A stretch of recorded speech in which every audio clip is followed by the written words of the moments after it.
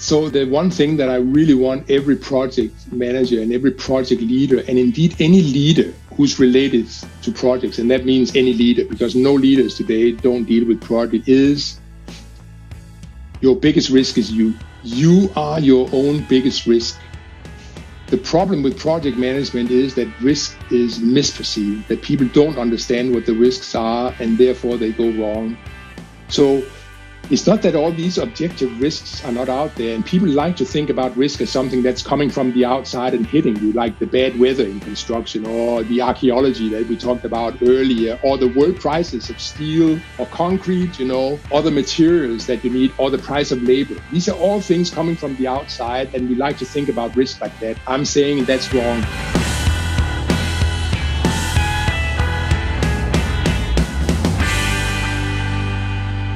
Hello and welcome to the Capital Projects podcast. My name is André Choma and I'm your host here to discuss the main challenges of capital projects and project management. We already know that delivering a project on time and on budget is a huge challenge for all of us in all industries and we need to learn from past mistakes in order to deliver better value in the future. So today I'm really happy to host this episode here with Professor Bent Flyvbjerg one of the most respected researchers on capital projects and author of the book How Big Things Get Done. Professor Flyvbjerg was the first BT professor of major program management at Said Business School at Oxford University, position that he held until September 2021. He works for better management of mega projects and cities. He's the most cited scholar in the world of mega projects and the author of 10 books and more than 250 different papers published in 20 languages. He has pioneered research on behavioral science, including the influence of power of decision making for mega projects. His new book, written with Dan Gardner, received great reviews from The Economist and the Financial Times, and is also listed as one of the top 15 books by the Financial Times for the year 2023. So let's see what Professor Bent Flyvbjerg has to teach us about mega project management. Professor Flyvbjerg, welcome to the Capital Projects podcast. It's an honor to have you here talking to our community in Brazil. It's my pleasure. Thank you very much for having me. First of all, how did you get involved in the world of mega projects in your career? Just by watching what's going on around me in society. So I'm Danish, and uh, several decades ago, back in Denmark, when I was a pre- professor at Aalborg University, there the Danish government decided to do a giant project, 17 times, so one seven times more expensive than the biggest project that, they had ever done. Wow. This was in, would include the world's longest suspension bridge when it was completed and the second longest underwater uh, rail tunnel in Europe. So a giant project and everything went wrong with this project. So I got curious as a, as a scholar, uh, as a university professor, I was wondering, is this normal? I mean, or is Denmark just very incompetent in doing this or very unlucky? And what is the typical situation when other people try to do build projects, uh, to build big projects like this? And I started to look around the world for data and I found there were none. There were no data, even though uh, the world was already at that time building for trillions of dollars globally mm-hmm.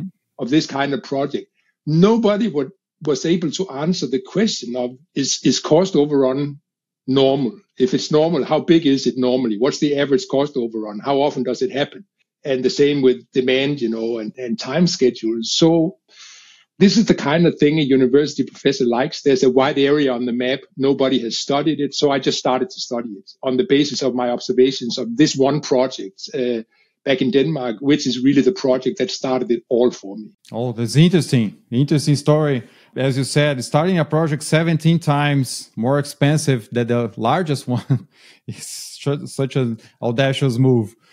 So, in the latest book, your latest book that we're here to talk about, How Big Things Get Done, that you wrote with Dan Gardner, it's a worldwide success with great reviews from Financial Times, The Economist, and also from personalities such as the architect Frank Gehry that you mentioned in the book and the Nobel Prize winner Daniel Kahneman.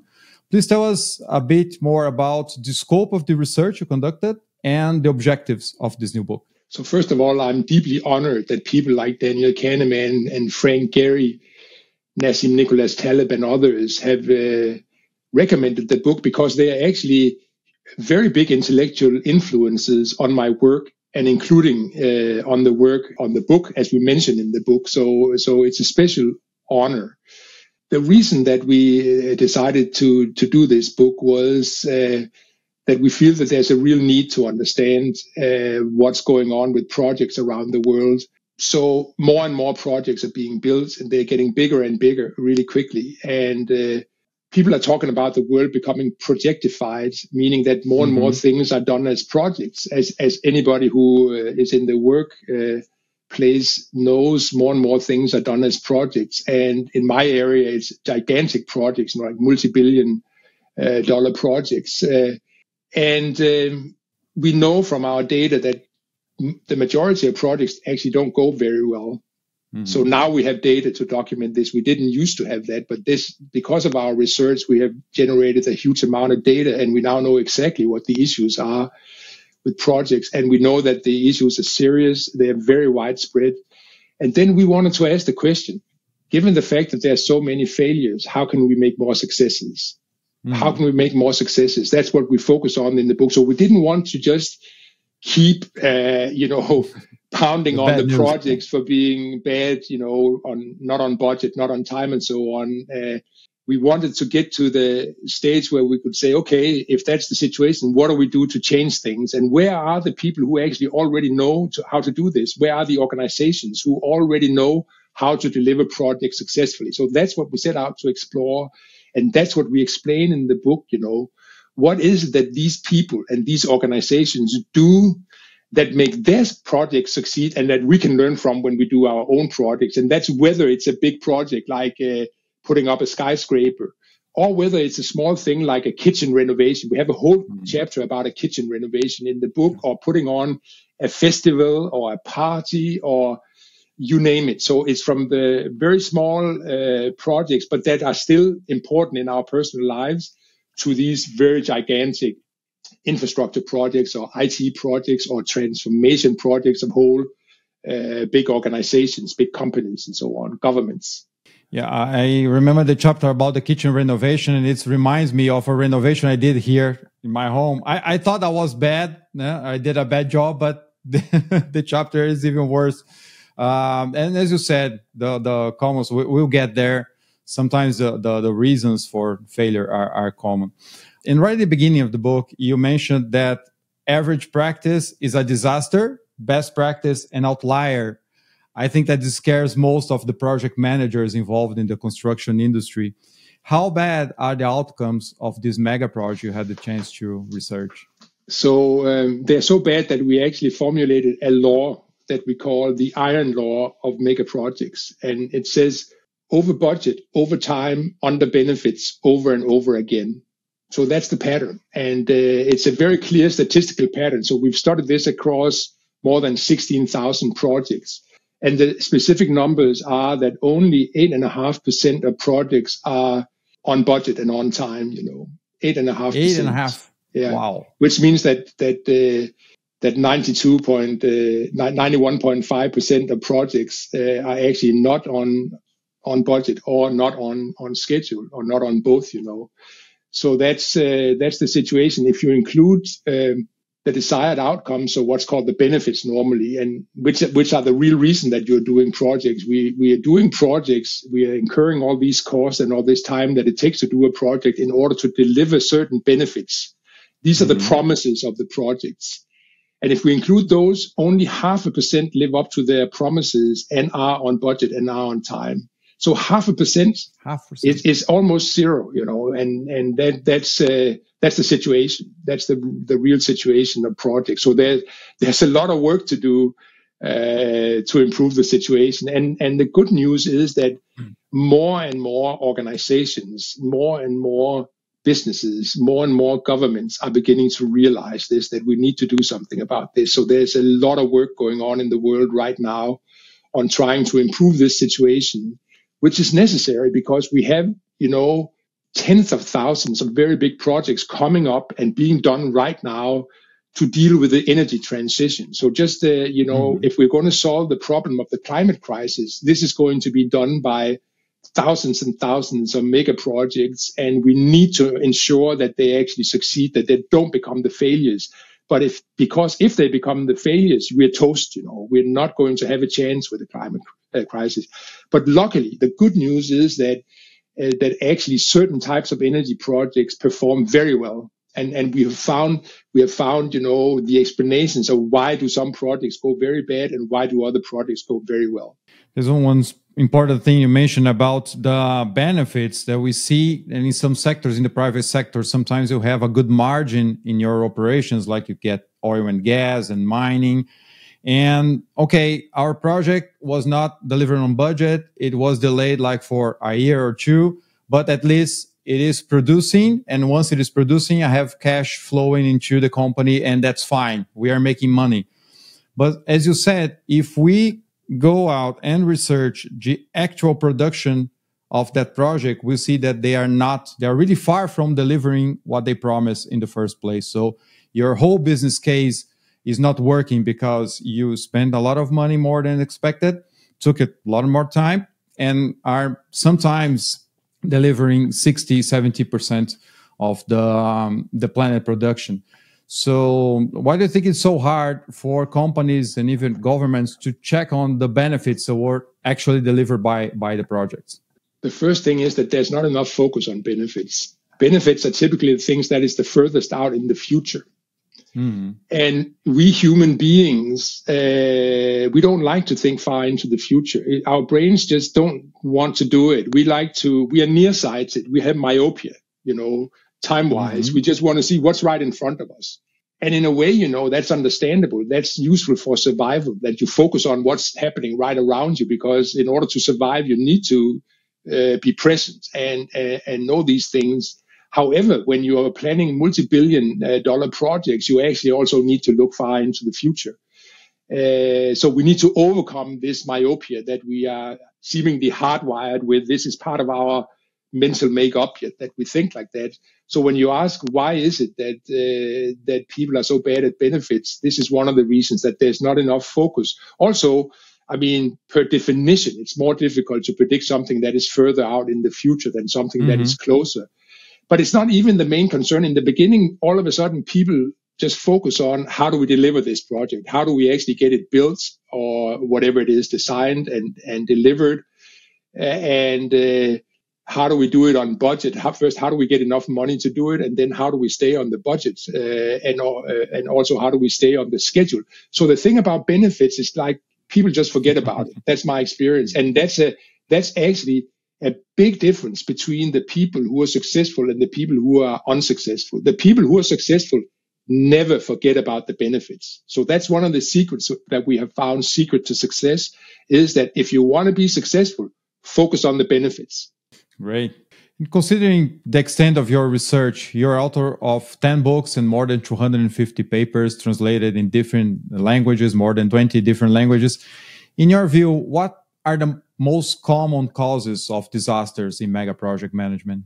So we have a thing we say in the book that I really like, and that is that uh, projects don't go wrong, they start wrong just to yeah. make people think, you know, like you, this sounds like a contradiction in term. They don't go wrong. Hey, that's what we talk about all the time. Why did this project go wrong? And that's our language. So I'm, what we're saying is the language is wrong. When you look at the numbers and when you look what actually happens, the projects actually don't go wrong. They start wrong. And because they start wrong, there's not, there's not a chance, you know, to deliver them successfully. And that's why they go wrong. So to illustrate, if you have a completely unrealistic business case, no matter how good a team you get, they can't deliver it. And that's actually the situation uh, for a majority of projects. So why do people make all these unrealistic business cases? That's the next question, right? And we also have very clear explanations of this. We've studied that in detail. And we find actually it's two main things. So there are two causes. First, psychology. Second, power. So these are the two main causes. The psychology are cognitive biases that we have. Optimism is the most famous cognitive bias. And as you can see, if you're optimistic about a business case, your product is going to look cheaper than it's actually going to be. It's going to look as if you can do it faster than you actually can. And it's going to look as if it will deliver more benefits than it actually will. That's optimism played out on the variables that we measure for projects. The second thing is power, as said. So power is when people deliberately do these things. So optimism is innocent. People don't do it deliberately. If you talk about deliberate optimism, it's not optimism anymore. Then it's manipulation, right? So optimism is something we are hardwired with again for nature and again probably for good survival reasons. We need to be optimistic to get through life, you know, and get up in the morning and do what we have to do. Uh, and therefore, from, from nature, we are hardwired to do this, and we are not even aware of ourselves being optimistic when we are optimistic. However, the power thing is deliberate. So this is the oldest trick in the book that you can deliberate. If you know that my project is going to compete with other projects for approval and for funding, I know exactly what to do with my project. I'm going to make it really nice I'm going to write it up so it look beautiful in the beauty contest that it's going into for competition. So how do I make it look beautiful? Well, easy. I make it look cheap. People like cheap, you know. Cheap is much better than expensive. I'm going to make it appear as if we can deliver it very quickly. People like to get things quickly and not have to wait 10, 15 years to get things. That's so far in the future. Who cares? No, I'm going to promise you four, five years, we have this. And uh, lastly, I'm going to promise more benefits. So I write more benefits into my uh, business case. And, and, again, it makes the project look good on paper. So when I've done all this and I submit my project for approval and funding, I have a higher chance of getting approved. It's called cooking the books. It's deliberate cooking of the books. And that's the second major explanation of why we have all these business cases that are unrealistic upfront and therefore go wrong. And this is what I mean when I say projects start wrong instead of they go wrong. They start wrong because of psychology and power manipulating the business cases so they become very unrealistic. And I mean very when I say very, we are talking about very high percentages that the that the products are off, you know, in the initial business cases. When we come in later and then we compare the actual outcomes to what was promised at the outset. That's what we do systematically, you know, in, in thousands and thousands of projects. This is a big challenge for decision making, right? Because uh, I used to say that we are always approving, or not always, but most of the time, maybe approving the worst projects that we have because poorly defined projects will look like they are cheaper, as you said, and faster. So the more we study these big challenges, more expensive it will be or appear during during planning.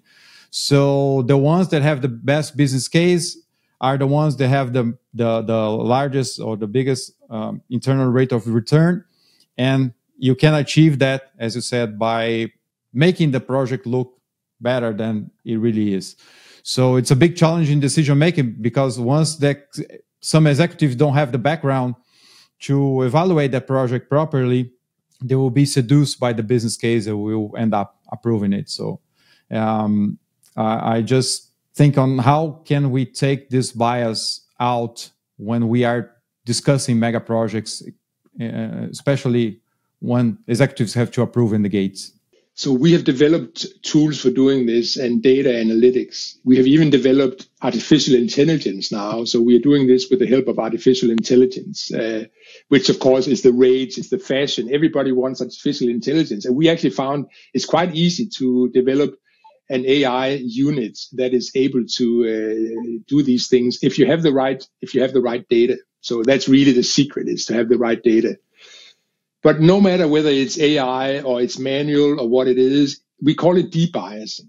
It's, it's about debiasing the projects at the outset. Uh, so if we are biased in our brains because of uh, psychology and power, and we know that that's built into the business cases, we actually have developed the analytics where we can run a business case through our analytics and we can measure very precisely what the bias is, and then we can take the bias out on the basis of all these other projects of similar kinds where we where we have the outcomes right?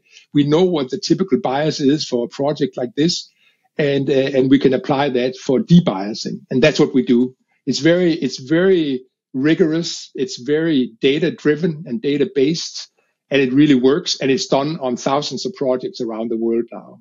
Great I was thinking here that you talk about the fat tail in the cost distribution of projects, and maybe we can uh, talk about it now. And the way that some executive executives present their projects is looked at like the fat tail is on the opposite side, right? So the estimates are always conservative. The schedule is always also conservative, and the benefits will be better than that. And what we see is the fat tail. So we have some disasters of projects costing 200, 300% or more than the, the um, it was planned. And you mentioned the book um, that we should look for ways to cut the tail. How can we do this in, in mega projects? So the first step is to be aware that there is a tail. And I would say the vast majority of project uh, planners and leaders, they are not aware of this. They don't even know that, that projects are fat tails. So we have now proven, and it's in the book, that about 80% of all project types are fat tails. So wow. that means that means that uh, all your risk management tools that are assuming normal or near normal distribution, they go down the drain. They are not even, they are not just useless. They are worse than useless because they give you a false sense of security, right? You think that you have estimated the risk. You think you have done all your sophisticated Monte Carlo simulations. It looks very scientific and very quantitative, very mathematical. And uh, hey, with all these numbers and all these curves, surely this must be right. No, if you are assuming the wrong distribution for your Monte Carlo simulations, your Monte Carlo simulation is going to be bullshit. It's going to be garbage in, garbage out. And that's what happens in the majority of risk assessment, quantitative risk assessment for projects. So the first thing is to be aware that the fat tails are there. Then, then we can start talking about, okay, given that they're there, how do we cut them? How do we get rid of the tails? And we give some examples of this in the book. One example I like especially is, is from the UK uh, where I'm speaking from right now. Mm. I'm speaking from Oxford uh, in the UK, and we worked with the the management of High Speed Two, which is the high speed rail line being built right now between London and Birmingham and further to the north. It's the biggest construction project in all of Europe. Huge uh, a budget that they don't even know what it's going to cost, but they they think somewhere north of 100 billion pounds, so 100 north of 100 billion. So it's hugely expensive. And um, high speed rail has fat tails. So that what we did was take all the high speed rail projects that are in our database and study them. First of all, plot them out and see what were what were the cost overruns on these projects. Uh, and then we identified the ones that were in the fat tail. So each of the projects in the fat tail was identified by name and we went in and we studied each project and found out okay what what were the specific reasons that this uh, ended up as a black swan you know as an outlier as an extreme value what were the specific reasons that the budget blew up on this project. And we we found you know a set of reasons. Uh, say around 10 different reasons and and uh, some of them uh, like like like a top 10 you know where number one was the most important and so on. Amongst the the top three you know was one that appeared over and over was archaeology. So obviously when you start digging uh, a project you, you you have to put a rail line across a landscape especially an old landscape like the english landscape where people have lived for for thousands of years uh, uh you will come across a lot of archaeological sites and the law is that every time you hit a site like that, you have to stop construction and you have to call in archaeologists and and uh, and uh, and do an archaeological investigation. So basically, you know, uncover what's there and so on, and and uh, measure it and, and map it and so on, and and bring the artifacts into the museums uh, or storage. And this turned out to be a big headache, you know, for these projects because for many reasons, you know, that it it takes time and there aren't that many archaeologists around. So we we we made a brainstorm. How do how do we best solve this? I mean, we need to get archaeology out as a course to uh, to push projects out into the tail. How do we do that? So HS2 actually decided we are going to we are going to put every archaeologist in England. Hold on, every archaeologist in England on a retainer. We're going to pay every archaeologist in England to be ready to come when we have an archaeological dig that we hit so that we don't have to wait for the hiring process and finding people and so on. No, they're ready. It's like calling a taxi. You know, you call, you call, it's like calling Deliveroo. You call the Deliveroo of archaeologists and, and they will show up on the site and they'll get to work immediately. And you'll have a whole pool, you'll have a whole pool of archaeologists like this. So this, this helps solve this problem. And then it actually generated just, just a side story, but it generated very positive side effect because it turned out that all of a sudden HS2 became the biggest, uh, you know, um, provider of archae- archaeological information in the country. So they actually turned all this information into a website that people could go to and they could follow it. So they became very popular with people who are interested in archaeology as a, as a positive side effect. But the, the main thing that we were trying to achieve was just to get, just to get archaeology uh, out of, as a driver of getting into the fat tail. And we did this, you know, item by item. And in that way, we reduce the risk of ending up in the fat tail substantially. So that's how you, how you work with cutting the tail we can see how important it is to learn from past experience and to really apply this on, on the projects. We see some companies that are really capital intensive have sorts of different complex projects and large projects and they have they repeat failure after failure seems to be unable to get those lessons learned and incorporate into the project delivery system uh, i don't know if you uh, also if this is also part of your research but if so, I'd like to, to know your vision about it. How is why is so hard for companies to learn from past experience and really apply the best practices in their projects? So, first of all, we hear this over and over all the time that people don't understand. We cannot believe, you know, that we have now made the same mistake again that we did on the previous similar project that we did on the one before that and before that.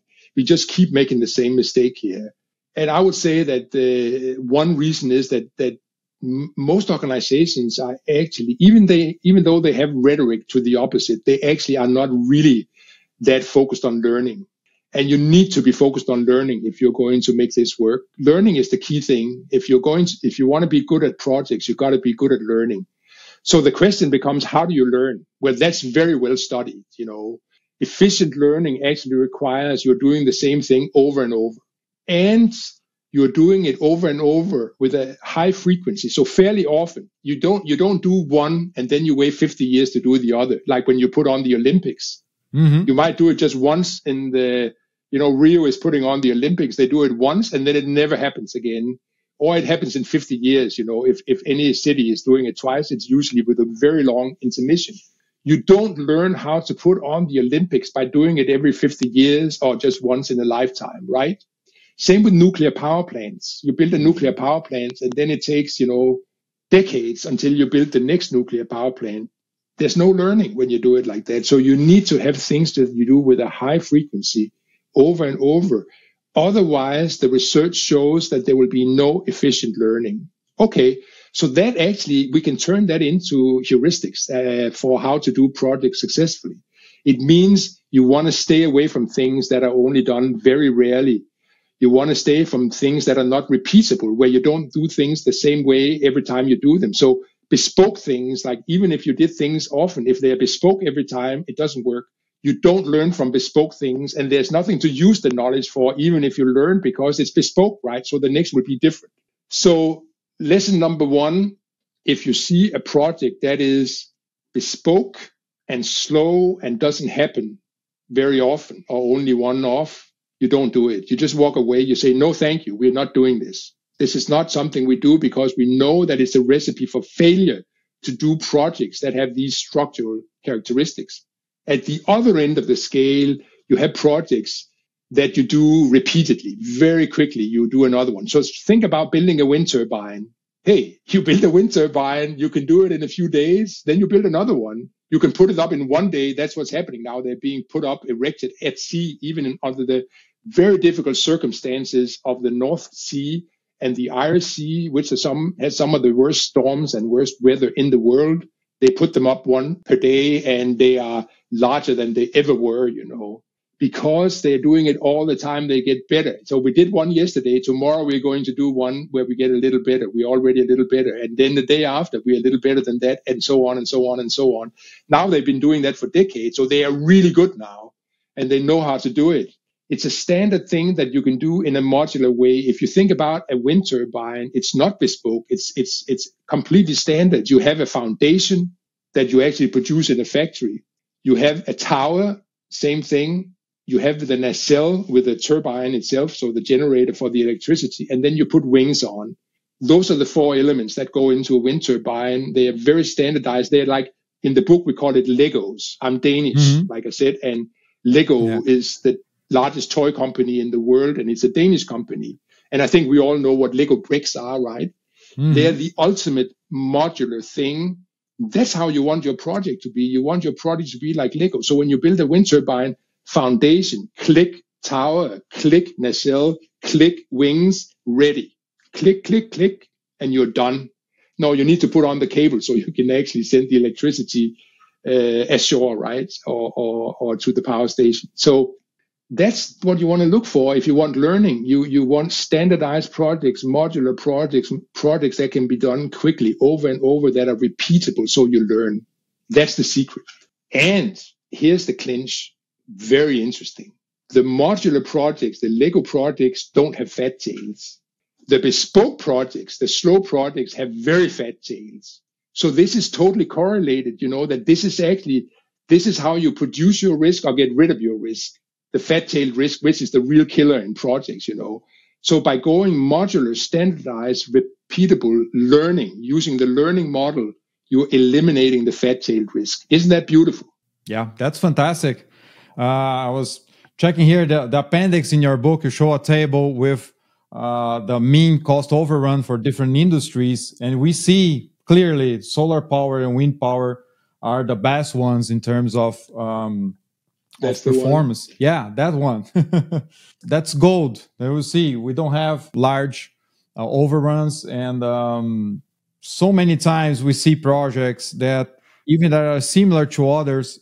You know that engineers just love to customize things. So yeah, I can make this beam a little bit uh, uh, uh shorter here, different from the past project, and and sometimes the development process the getting to the suppliers, the material, it will all compensate if you make it modular and much faster than the previous one, as you said. And I would say that engineers who think like that, they're the engineers of the past who think about customizing things and, and they want to make this special case. This is this is the tradition from from uh, craftsmanship, you know, and mm-hmm. it, it, I have a lot of respect for that. Don't misunderstand me. Uh, sure. There are lots of things where that is a good idea, but it's not the future in what we're talking about. We'll never be able to solve the energy crisis if it's all, uh, you know, bespoke craftsmanship. And uh, the engineering of the future, and, and there is a new generation of engineers. And if you want to find a country where they are, China. China totally gets this. Mm. So China understands uh, modularity is the is the key to success that's why they have taken the lead in renewables. That's mm-hmm. why they've taken the lead in batteries. That's why they're now beginning to take the lead, lead in electric vehicles and so on. They and, and even construction, you know, which is the most difficult area to modularize uh, historically. They're already doing it. They're building skyscrapers in 21 days, you know, because it's all modular. They're just stacking Legos and, and, and building skyscrapers like that. Uh, a lot of people get worried when you talk about that because they have this historical image, you know, of really ugly, low quality buildings that were built mm-hmm. in this standardized way. But today we can say that it doesn't have to be that way. It can be completely high quality, unique design made by the best architects in the world. And it can be still be completely manufactured in a modular way. Or now with, with the digitalization of construction, it doesn't mm-hmm. even have to be modular. Anything you can design on a computer, you can manufacture. Yeah. So you don't even need to go modular. And anything you can di- design on a computer, you can get the best architect in the world to design it. It's just a matter of choosing the right architect. That's what Frank Gehry is doing. He's one mm-hmm. of our heroes, and uh, and we talk a lot about him in the book because he has cracked this problem of actually being able to digitize his building without compromising design or quality. Actually, the opposite. He's he's getting better design, he says, because of the digitalization, and he's getting higher quality and he actually gets to stay on budget and to stay on schedule because he simulates his buildings on the computer before he builds them in reality. And he understands this thing that you don't want a construction site, you want an assembly site. The more you can manufacture, the better. The more you can manufacture, the less risk you have. Sure.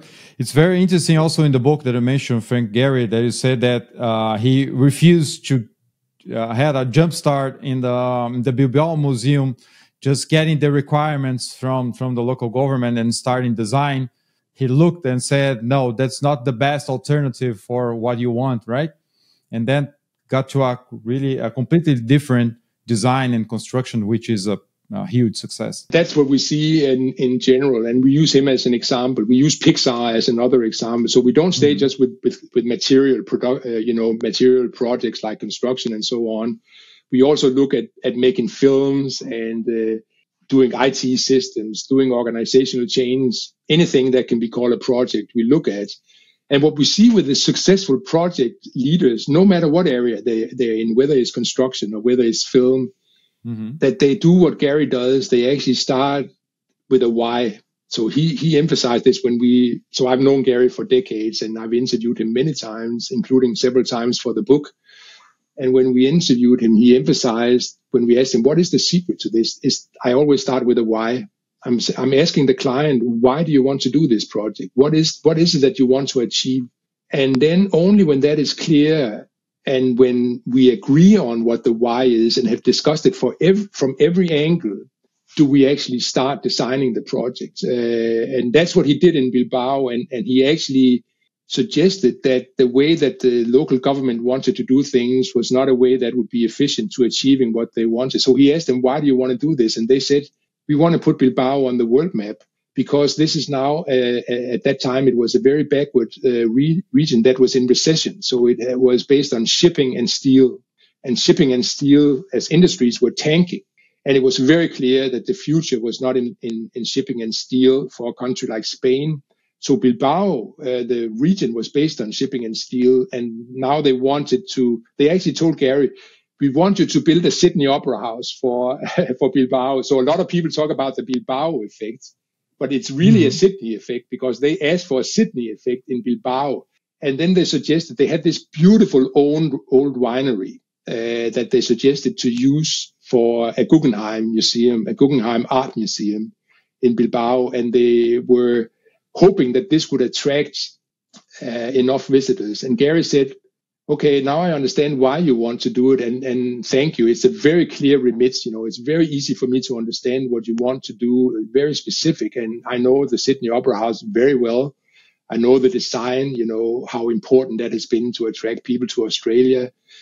Uh, I understand how it was built and what it's done for Sydney and for actually indeed for all of Australia. But I don't know one example of anybody who has taken an old building and then been able to do what you want to do by renovating an old building. So I can't think of one example. So I think if this is what you want to do, that's the wrong solution. Now let's think of something else. And they just, they basically, they went for a lunch, you know, on, I don't know if you've been to Bilbao, but it's like in a river valley and they went on top of one of the river uh, sides and where on a, on a big hill where they looked down on the city center and, and, uh, and Frank Gehry said, Hey, what about that? Uh, what about that? That there's an old derelict factory right down there uh, by a bridge across the river. And you know, in Sydney, there's a bridge there, the Harbour mm-hmm. Bridge in yeah. Sydney. How here you have a bridge, you know, and here you have an old, like the old bus depot in Sydney uh, or, or tram depot in Sydney that was at Bennelong Point before they built the Opera House. There's an old factory here. Can we get that plot? You know, I think that's the location. And there are great sight lines to different parts of the city center. Uh, so I think that's actually a great location. Can we get it? And and they investigated quickly, and they they found out that they could actually buy that lot, and they did. And Gehry designed the building for that lot, taking the bridge into account in a very you know convincing and attractive manner, and the rest is history. Yeah, huge success, built on budget. Actually, four million dollars below budgets at a, and on a pretty small budget. That was only a hundred million dollars, which is not a lot, you know, for the square meters they got, mm-hmm. and built on time and delivering about three or four times more benefits than they ever hoped for in their wildest dreams. So many more people are coming to visit. Many more people stay in hotels, buy food, uh, stick around, you know, uh, buy things in the shops and enjoy the Basque region and, and northern Spain. So uh, a huge success in every way. Even the people who were most skeptical at the outset, and there were skeptics, serious skeptics. Uh, uh, for instance, from the local art community, that they thought mm. that now if you get a Guggenheim, this is so high profile that the local art is going to suffer. They say exactly the opposite has happened. It actually turns out that having this many people come into Bilbao who are seriously interested in art has lifted every uh, gallery in town. You know that more people are now buying local art from the local galleries than they were before. So just an example, you know, of, of one of the the benefits that uh, people thought were going to be a problem, but turned out to be, uh, you know, an asset instead. And a fantastic example of starting with why, as you yeah. said, the first thing that Frank did was understanding why they wanted to do it, and then conducted the project to the opposite way. We call it thinking from right to left. So the why you put on the right in the box on the right in your flow chart for how you're going to do the project. Then you start thinking backwards from mm-hmm. that, but you know what the outcome is going to be. So in, in Bilbao, it was we're going to have a Sydney Opera House in Bilbao with the same effects, you know. Now, how do we do that? And then you work backwards and and you you figure out every step of the way you with the design and everything and, and everything that else that goes into it. And then you start on the left and you move towards the right without ever forgetting what's on the right. You always keep in mind in the back of your mind what's on the right and that helps you no matter where you are in the process. If you just ask yourself what's out there on the right, you can measure yourself against whether am I contributing to the thing on the right now or not. If you're not, stop doing what you're doing and start doing something that is actually contributing to, to what is on the right. So that's we call that thinking from right to left. Interesting. And uh, you mentioned Pixar uh, here, and also in the book, I found this really interesting to understand how you can learn from animated movies in order to bring those lessons learned to, to mega projects. What what you found was most the most interesting thing to see how Pixar developed its movies and how can we learn from it in applying in engineering construction. So it's the same as as what Gehry did. That's what Pixar is doing. They simulate their films just like Gehry simulates his buildings on computers before they do them. So uh, that's the secret. And it's about learning. So we talked about learning earlier. This is also about learning. When you simulate something, you learn. Mm-hmm. So it's it's a common thing in architecture and engineering to do mock-ups, right? So you do you build mock-ups in order to learn, you know, like how does this thing look in reality and and what are the issues involved in actually getting it to work and so on. And you do a mock-up. But you can do that I mean, people are still doing mock-ups, and that's a great thing. I mean, people should keep doing mock-ups, but now on computers, you can go into much more detail than you can with a mock-up, and you can actually simulate your project uh, on a computer before you do them, and that's what Pixar does. Uh, and um, this is again this thinking slow uh, in order to act fast. This is a slogan we have in the book: think slow, act fast. Uh, and if you don't think slow up front, you won't be able to act fast because there are going to be so many problems that are slowing you down because you didn't think about them before you started. That's what Pixar does. And they do it very specifically by starting. They, they start out with an idea. So let's say a director get an idea. We interviewed both the CEO of Pixar and the creative director of Pixar. Mm-hmm. And the creative director explained that he often gets his ideas in the shower, maybe after yeah. a run or something. and, and, and he just gets out and writes it down. It might just be like two lines or a paragraph. That's the start of a movie. So he gave an example, uh, you know, like uh, a girl who's all in her head, or a rat that likes to cook, you know, a rat mm-hmm. that likes to cook. Those are ideas, you know, that just they're just like that, uh, an idea, a few words, a few lines at the outset. Then you take the idea and you try to develop, maybe write a couple of pages, two, three pages, maybe five, but not more and then you circulate it to your other directors as Pixar and, and other colleagues who are doing films and you get feedback. Like, what do you think about this? Is this something that would work? What do you like about it? What do you not like about it? You are, you are used to doing films. What would really work with the audience? What wouldn't work with the audience?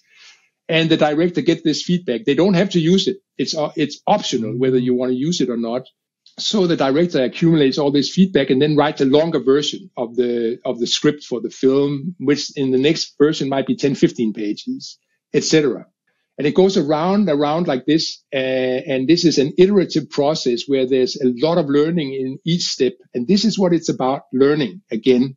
And uh, at one stage they will then start using storyboards. Now now they don't do it on as just a script anymore. They actually take the script and they put it on storyboards. And it might just be uh, you know, a, dozen or a few dozen storyboards at first. So they get, you know, like different scenes and they get, you can put the storyboards up in a, a, a time sequence. So you can see like, how is this film going to unfold? And again, they get feedback on this and then they do some more storyboards, maybe a hundred or 200 and they get more feedback. They start thinking about what kind of music should be behind these scenes, what kind of voiceover should be behind these scenes, who should do, who should be doing the voices, what should be said, and so on. And then they end up with uh, several thousand storyboards, you know, and then they start using their phones and they film the storyboard. So now they can start simulating the film itself. They can put on the music and so on just using their own voices, their own music, and so on. Very cheap to do, and that's the whole point. That this all this learning is done on the cheap. So no expensive actors have been hired yet to do the voiceovers. You know, they they they hire the mm-hmm. best actors, the most famous actors in the world are used for the voiceover. They're expensive. They get the best music composers in the world to compose the music, also very expensive. But none of this is done yet, not until they really know what they're doing. So this is cheap and this process is, it goes through eight or nine iterations pro, uh, typically at Pixar. And it takes two years, around two years, plus minus a few months, typically at Pixar. And it's really given priority because they know if we've done this process well, then when we start shooting, we can do it fairly quickly and fairly cheaply. And therefore also reducing the risks because anything that is done fast is exposed to less risk than anything that takes a long time. So time is a killer in terms of risk. And the shorter you can do things, the less risk you're exposed to, because mm-hmm. time create time creates variation. We know that, and uh, and and Pixar really understands how to uh, minimize that risk by doing things fairly quickly once they get to the shooting. So that's what Pixar does. They use iterations and experiments and simulations to get to a point where once they start shooting the films, they've actually already done it several times before, you know, eight, nine times before in different versions. And that's why they're so good at it. And that's why, unlike any other studio in more than a hundred years Hollywood history, they have done blockbuster after blockbuster after blockbuster, 22, 23 blockbusters by now. Wow. No other studio has ever succeeded in doing this, which of course is why Pixar is extremely interesting to us because the mm-hmm. fact that they are able to do this show that they they are not just lucky. You wouldn't be able to do so many successes by luck alone. That is so unlikely that we can regard it as zero. And therefore, we wanted to see what's the secret, what's the methodology that they have, what is the process that they're using, what is their secret sauce. And what I just told you is the secret sauce. That's why Pixar is so successful. And anybody can learn from that. So no matter what type of project that you're doing, what you want to do is to have iterations and simulations up front where you are simulating your, your project instead of actually doing it and learning from the simulations. Once you've done enough simulations that you know everything about this project that can go wrong and so on, then you can start doing the project and you will find that you will be able to do it in a cheaper way and in a faster way. That's uh, great learning from a different industry. As, as you said, we can apply, we see in engineering that so many times we get into the end of a phase of a development phase to get a good and comprehensive review of the project. And then as you said it's maybe too late. You develop too much before getting enough feedback to improve your design to improve your solution. And you spend hours and hours of engineering estimating and so on. I, I can see that we are using much more technology to help us in defining those projects and designing those projects but not as much in simulations as you said. Then you can test different things in a plan and simulate and see for construction for operations for safety and then you get the design right and you advance. What we see is a series of major returns on projects or ma- major uh, reworks on projects too late in the stream almost get into execution. Sometimes in execution, we, we see in the fat tails. That's the opposite of what I'm talking about here. And that's the opposite of the way that the successful project leaders do it, like Frank Gehry and Pixar and others. And it's, it's re- actually important to emphasize that this is nothing new. The Empire State Building was built like this. They didn't have the computers, but they simulated the whole thing, you know, physically and they they figured out everything in detail and they got as much as possible manufactured off site so that that that the the Empire State Building was as much of a, an assembly site as possible, you know, and they used modularity big time. They actually said, no, we didn't build a skyscraper. We built the same floor 122 times. And That's so, great.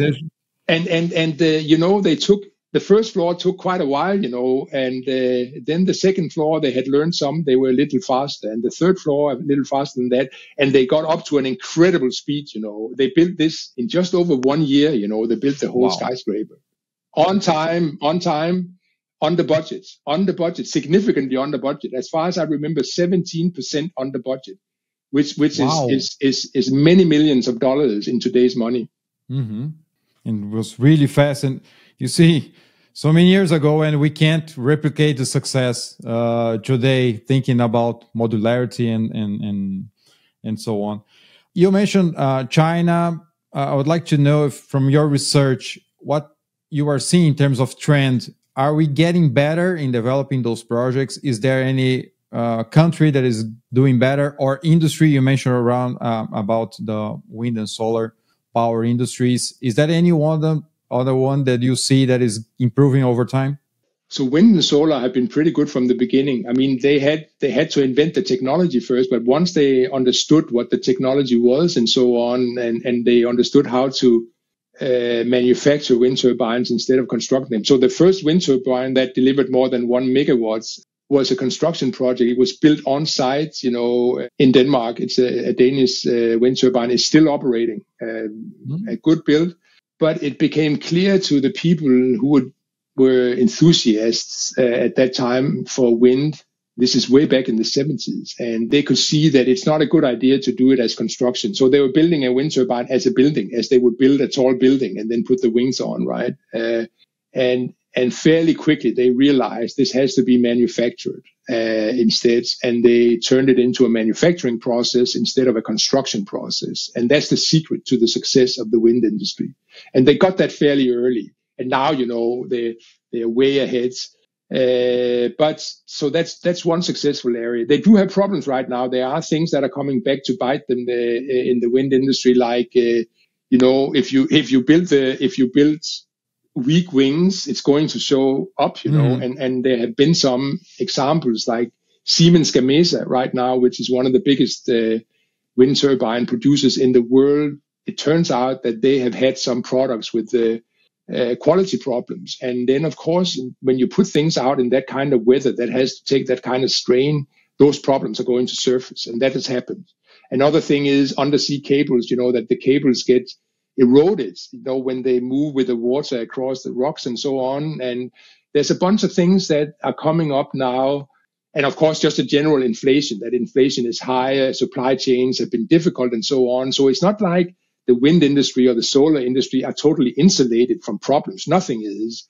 But they have much fewer problems than the other industries, and they have been able to reduce a whole set of problems away, basically. Uh, because of their modularity and their speeds. Uh, and I would say the same pipelines is another area. We see in our data that pipelines are actually performing very well, uh, which could be lucky. You know, if we're going to have a lot of hydrogen projects, that could become in handy. Uh, but even more importantly, transmission lines. We also see in our data that transmission lines, and right now, people are beginning to realize that hey, we actually need to have a much more integrated uh, energy transmission or rather yeah. electricity transmission system with with like high speed uh, direct voltage cables uh, running uh, hundreds and hundreds and hundreds of miles if not thousands uh, across continents and uh, across ocean floors in order to integrate the different parts of the electricity system it's mm-hmm. really important Otherwise, we can't make things work if we're not able to spread the electricity production out over much larger geographical areas than we have been used to so far. Electricity production have actually been a very localized process if you look at it geographically. That is not sustainable in the future because there's so much variation in the renewables that they need to be even out, evened out over a much more uh, over a much larger geographical area. That's happening now. That's beginning to happen. And luckily, it turns out that uh, electricity transmission is also modular and something you can do at speed. So those are some of the areas. And like I said, China has specialized in those types of projects. And, and I think the West, you know, so North America and Europe and uh, other parts of the world, you know, Australia, Brazil, the areas not in Asia should really pay attention to this because we might we might be outcompeted if we don't wake up and and uh, focus on this the same way that China does. All of a sudden, China is going to be able to completely disrupt certain industries, and and we are not going to be able to be in on it because unless we put up trade barriers and then create our own protected industries. But history shows that's not a good idea. Look what happened to the Soviet Union. They put up this and they got a they got a, a, type of car that nobody wanted to drive anywhere else in the world, right? So as soon as they put down the trade barriers, those cars just died, you know, that that whole auto industry just died. You don't want to create a, a global situation like that. So it's better it's better to keep up with the competition. And I think that that's one thing we need to do now is to look carefully at what happens in China and try to keep up with the competition. Great. And the characteristics of the projects you mentioned, like uh, energy transmission, wind power, solar power, they all have those uh, characteristics. As you said, they can be modular. They are modular per se. So we can learn from this experience once again to bring to, to our projects. That's fantastic. Uh, Professor Flyvbjerg, I, I, could go on for hours here. It's a great class for our community here in Brazil, but we are ending our, our conversation here. And I always ask our guests to provide a few recommendations for future project managers of complex projects on how they can prepare themselves for the challenges. And so, what piece of advice would you like to give to them? So the, the, the one thing that I really want every project manager and every project leader, and indeed any leader who's related to projects, and that means any leader, because no leaders today don't deal with project, is your biggest risk is you. You are your own biggest risk. The problem with project management is that risk is misperceived, that people don't understand what the risks are, and therefore they go wrong. So it's not that all these objective risks are not out there. And people like to think about risk as something that's coming from the outside and hitting you, like the bad weather in construction or the archaeology that we talked about earlier, or the world prices of steel or concrete, you know, or other materials that you need, or the price of labor. These are all things coming from the outside. And we like to think about risk like that. I'm saying that's wrong. Not because those risks don't exist, they do exist. But the real problem is that we actually misperceive those risks. We, we are optimistic about most of those risks. Just to take one example, we anchor in the wrong base rates. If you think about going to the casino and playing, every good player wants to know what the odds are. You don't have a chance of winning if you don't know what the odds are. But most project leaders have no clue what the odds are in their own business. That's a very sad fact. And that's why you are your own biggest risk. So that's one thing. That's a major lesson. And if I could say only that you only remember one thing from today's this conversation, that's what I wanted to remember. But there are lots of other things like get the team right. So it's all dependent on the team. And no matter how good a business plan you have, if you have a lousy team, they're not going to be able to deliver your business plan. So it's self-evident that you need to think a lot about who you hire. And you basically only want to hire people or the majority of people that you hire, or the people in the most senior positions, have to be people who have a track record with actually delivering the type of project that you're now delivering. You cannot hope for success if people have not tried to already deliver what you now want them to deliver for you. Again, that sounds like a no brainer. You have no idea what I have seen of people who are total amateurs and they are allowed to do multi billion dollar projects of a type they've never done before. And they get to play with your money and do all their mistakes with your money. You don't want to do that. You, you want to make sure that you get a team that uh, has the experience that you need. So th- those, those are two main things. But look in the book, you know, at the end of the book, I actually summarize in 11 heuristics, I call it. So those are, are, are 11 rules of thumb that if you follow these 11 rules of thumb, you have a pr- pretty good chance of being successful with your projects. It's, it's uh, so we summarize the whole book in just a few pages like that. Uh, rules of thumb uh, that will lead you to success with your own projects, whether big or small. Great.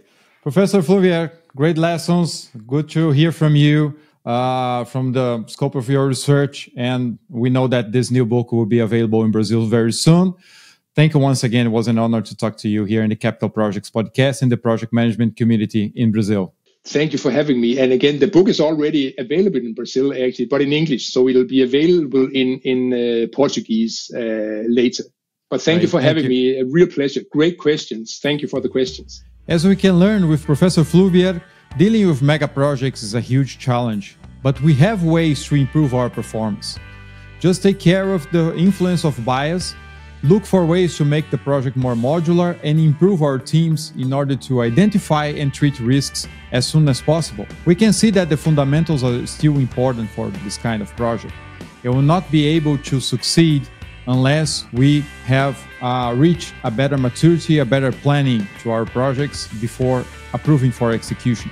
So I hope you enjoyed this episode as much as I did, and I truly recommend reading Professor Flyvbjerg's new book, I'll post here in the description of the episode the link so you can look for it in Amazon. Thank for being with us, and I look forward to seeing you in the future in the next episode here in the Capital Projects podcast. Stay tuned, follow our channel, and I hope you have huge success in your future projects.